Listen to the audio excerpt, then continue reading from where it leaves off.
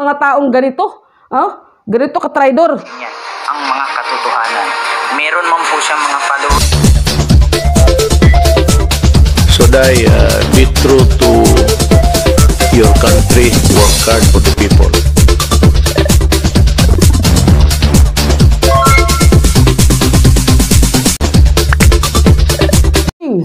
Ang maging topic natin ngayon ay tungkol kay Quintot Garcia.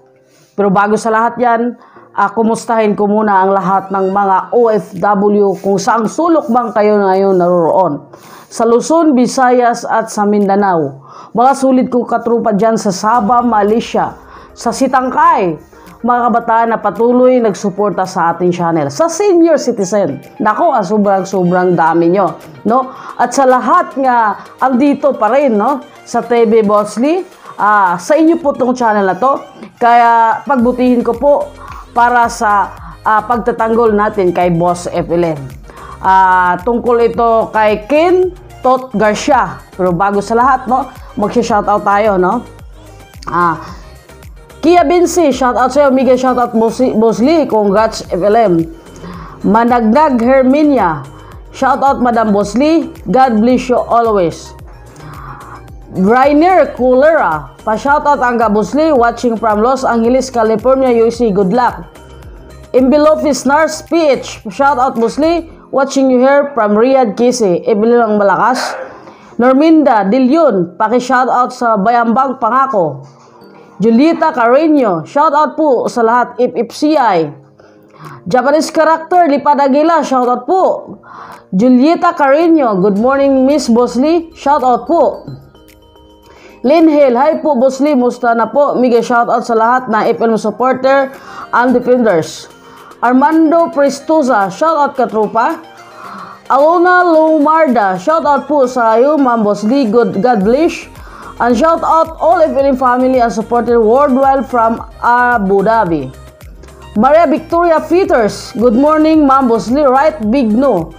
Then don't deserve it. FLM family are strong, I idol FLM as well. Shout out all FLM supporters. Bil Bilma Howlett, ganda mo ngayon, Bosley. Love the color of your hair. Nice on you. Shout out from USA. Midel Buot Leticia, shout out Madam Bosley. Tish Hana Berwita, shout out po Brad Busli. Monari Itiwan, hello po, hello boss TV Boss Lilipad Aguila, shout out sa lahat ng Kaipiling Family WW. Angelina Wong, shout out sa iyo Angga. Akala ni Manalo, akala nila manalo sila ngayon, wala nang bubuto kay BBM at Aime. Sam Elsevier Vlogs, lit lit lang times to no si kapatid. Shout out, have a good day, Bagwis Lipad. Ayan, Uh, hello TV Bossly, pa-shoutout po sa Sulit FLN. God bless you always. God bless you always TV Bossly. Rod is Nag TV. FLN Forever. Shoutout FLN Family. Ayun mga sulit kong mga katrupa. Shoutout sa lahat. So, uh, bakit nagsusuri si Kintot sa mga FLM Family Worldwide? Uh, dahil ba wala na siyang viewers? Dahil ba kailangan nila niyang mambodor sa mga FLM family? O dahil ba ah, na babaliktad siya dahil takot siya maposas?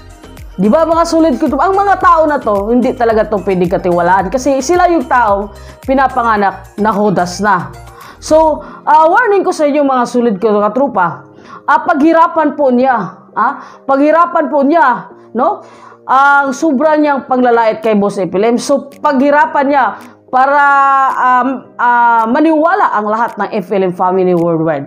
Pero kung magsuri ng ganito-ganitong sorry mga solid ko mga katrupa, uh, hindi po yan totoo. Dahil alam ko, kaya, kaya, dahil ito nagsuri, dahil may sariling interest ito. May gustong, uh, uh, gusto siguro na sisikat dahil uh, itong tao na to, uh, hindi, uh, hindi na sumikat, lumaos na no? Dahil sa maduming uh, maduming body nga sa nasa puso niya. Sobra itong tao na to makapanglait kay Boss April, grabe. So, noong una naniwala ang nagpamonetize sa kanya, FLM Family Worldwide. Pero anong ginawa niya? Nag-traitor siya, no? Sinak sinaktan niya ang FLM Family Worldwide. Ganon niya niyarukan ang pagkatao ni Boss FLM. Dahil may sarili siyang interest. Itong, nao, itong tao na to, ah, gutom ito eh. Gutom. Ah, walang walang wala ito sa buhay to. Gutom sa pagmamahal. Oo. Dahil ah, ah, naghanap ito ng ah, ano ang tanong ko paano to pinapalaki sa mga gulang nitong tao na to na ah, karamihan sa mga bakla naman no? Matino mapagmahal. Pero anong klase itong bakla na to na napakasalbahes wala namang ginawa sa kanya si Boss Epilim ang sabi niya ah, ginagamit ang pangalan ni Boss Epilim hoy hindi lahat maggumagamit sa pangalan ni Boss Ipil. Andito kami para ipagtanggol siya dahil hindi ito po ang inasahan namin ng hanap buhay. Marami po kami business, no? Baka hindi mo kilala ang FLM Family Defenders. Hindi kagaya sa'yo, hindi ka lang manglait dyan, mangbudol dyan, no? Ah, nagpaplano ka sigurong budulin ang lahat ng uh, FLM Family worldwide. So, kayo na mahusga sa video na to, ah, papaking, pakinggan nyo para nasa sa inyo na yan. Pero ang sabi ko sa iyo, warning ko sa iyo mag-ingat kay sa taong mga traidor. Ito ho, pakinggan nyo, no? Ayan. Saan man kayong sulok sa, sa buong mundo. Ako po'y nandito ngayon, hindi po ako nagbablog para para may content, para manira, para mag-react, para gumawa ng reaksyon.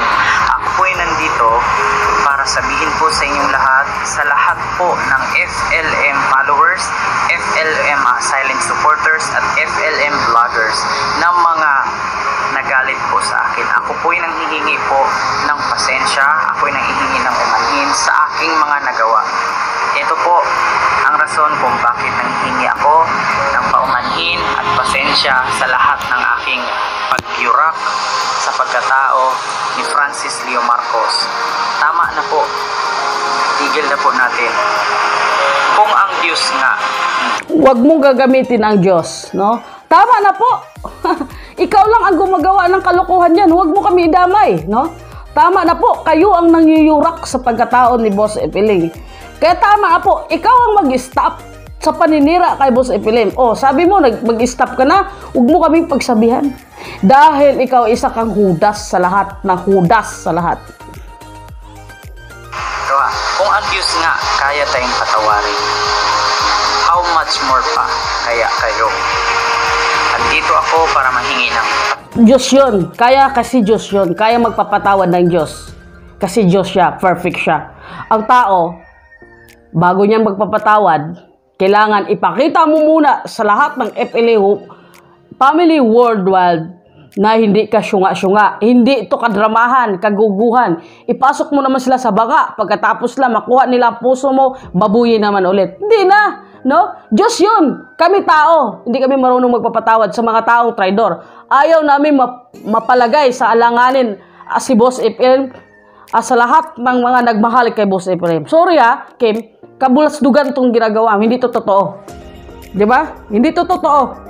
Alam ko drama na to. May gusto na to kukunin. No? kayo. Andito ako para manghingi ng pasensya, Pasensya. hingi ng paumanhin sa lahat ng aking nasabi, sa lahat ng aking maling nagawa. Ako po'y nandito hindi na po para magyurak ng pagkatao ni Francis Leo Marcos. Ako po'y nandito Wow! Francis Leo Marcos! Andito siya para hindi mangyurak sa pagkatao ni Francis Leo Marcos. Wow! Ah, nakilala mo na siya. Siya pala si Francis Leo Marcos. Hindi pala siya si Norman Mangosin. Makakapal talaga mukha nitong gag. Oh, makapal, no? Lolo, oh. Sorry, Lolo. Makapal, di ba? para itigil na po ang gulong to. Itigil na po natin. Si Francis Leo Marcos po dito ay isa lang pong biktima. Alam niyo po kung bakit. Siya po ay ginamit para kumita. Siya po ay ginamit para sumikat. Alam po natin yan lahat. Alam po natin yan. Ang mga katut tanga. No? Ikaw yon. Ikaw yung gumamit sa pangalan niya hanggang ngayon para sumikat. Pero hindi ka nga sumikat, lumaos ka na. Dahil sa sarili mong interest, no? Ngayon, kaya ka lumapit sa FLM Family Worldwide kasi gusto mong sumikat, di ba? Kasi yung pagsira mo kay Boss FLM, pagbababoy mo sa FLM Family Worldwide, hindi an, hindi nag-bomb, no? Wala nang nanonood sa iyo. Kaya ngayon bumaliktad ka na naman kay gusto ka ng viewer. At ayaw namin mga sa traidor, ayaw namin sa kagaya mo. out ka na sa, hindi ka namin tatanggapin. Para sa akin, hindi ko yan tatanggapin. tatanggapin. Comment below kung tatanggapin mo pa yung gago na, nako, mahirap magbura talaga. No, lolo, sorry. Di ba? Nakapag, nakapagmura tayo sa mga taong ganito. Oh? Ganito ka traidor. niya ang mga katotohanan. Meron man po siyang mga followers na hindi totoo sa kanya, na lahat ngayon ay naglailo na.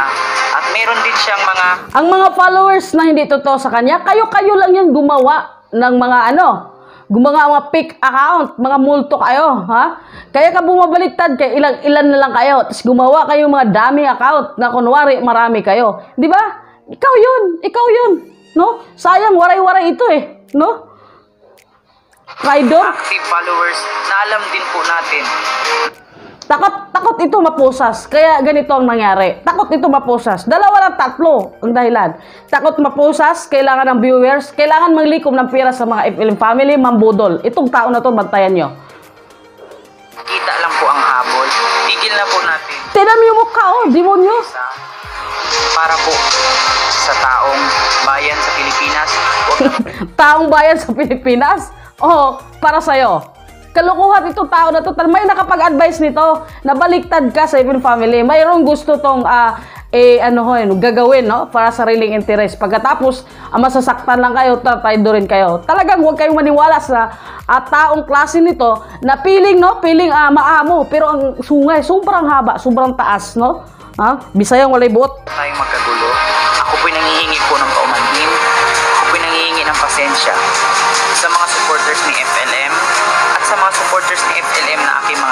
sa message, sa mga comment nyo, at sa mga nagsabi sa akin dyan na mga galit po sa akin dahil niyura ko nga ang kanilang idolo. Ako po'y nangihingi ng pasensya. Nasa inyo po yun kung ano po yung sasabihin nyo ngayon sa comment nyo, dyan sa ating comment button. At nasa inyo po din yun. Respetuhin ko po yung decision nyo po yun. Hindi ko po hawak yung inyong mga utak. Ang galing magpa-drama to style na tao na to. Ang galing talaga mag-style style na ah, malaglag sa kanya ang mga FLM family worldwide.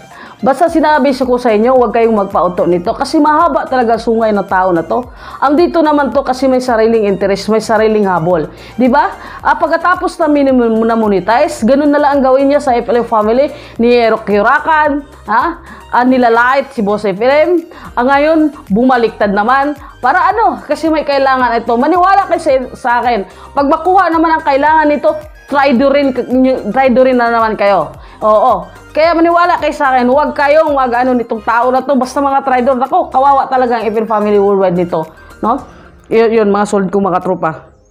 Mga utak. Hindi ko po hawak ang inyong ang ah, Talaga. ah, pagkatao na desi- yung desisyon nyo po yan. Tanggapin ko po yan at respetuhin ko po yan.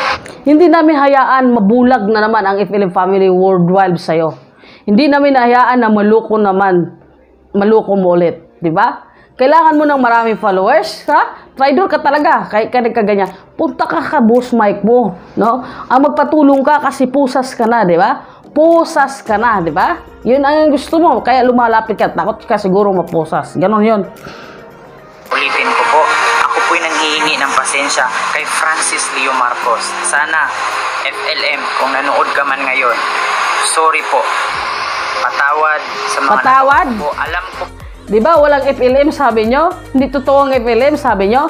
Ah, walang nag-exist na FLM? Ngayon patawad, alam mo makapagmura talaga tayo dito, no? Makapagmura tayo sa mga taong mga traidor, no? Alam mo kahit kailan ah, pinipigilan ko magmura, at tong tao na to hindi ko napipigilan. Kasi talagang makikita ko sa kanya, kahit maamo siya, mahaba talagang sungay ng tao na to, no? Ah, sayang, no? Po at alam nyo po at alam po ng lahat.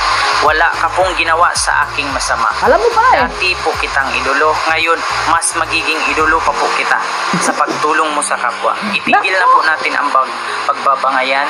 Wala pong mangyayari.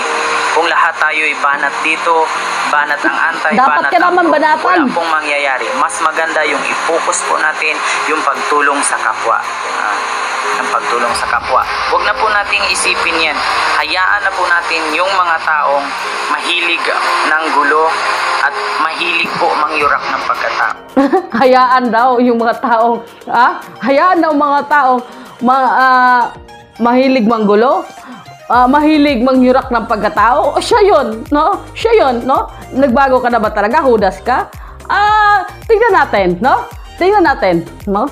At wag na wag kayong maniwala. Warning ko sa inyo, wag na gawin yung laos ito, no? Ha? Laosin ng laosin nyo. Kung pwede, mawala pang channel nitong mga trader na to, no? Gagawa tayo ng action. Kung sa kanila man po, kung ako po'y nandito, ako po'y nanghingi ng pasensya kay Francis Leo Marcos at sa mga supporters po ni Francis Leo Marcos. Nasa inyo po yun kung ano po yung mga comment nyo. Kapal talaga mukha nito mga sulit kong mga tropa. Basta, ah, para sa akin, hindi ako naniwala sa taong mga traidor. Hindi pinabigyan ko yung taong babalik at bigyan ah, bigyan ng chance. Ah, bibigyan ko pa yung taong ah, hindi hindi naging FLM family tapos bumalik. Dahil ibig sabihin yon, ah, natauhan siya. 'Di ba? Pero yung taong ah, galing na sa FLM family, tapos nag-traidor, tapos babalik, may sariling interes yan. Tandaan nyo yan, ang traidor, traidor. Ang ahas-ahas talaga yun mga sulit kong rupa. So medyo mahaba ng vlog ko mga sulit kong rupa. At 10% ko binibigay ko sa Panginoon, lahat na income ko. Subukan nyo magbigay ng 10%. Kung hindi nyo kaya magbigay ng 10%, kahit magkano na kung saan church kayo bilong. Wala yun sa church kung saan kayo bilong. Ang importante yung relasyon nyo sa Panginoon. Please subscribe, like, at pindutin notification bell yung all para ma-notify yung bagong upload. Mahal ko kayo, mahal ko ang Pilipinas. Bye-bye!